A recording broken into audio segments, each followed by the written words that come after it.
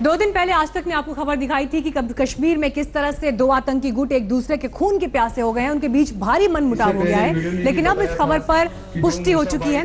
दरअसल जब से ये खबर सामने आई थी हिजबुल के जाकिर मूसा गुट ने विरोधियों को धमकी दी है। उसके बाद से इस पर लगातार अलग अलग तरह की खबरें आ रही थी।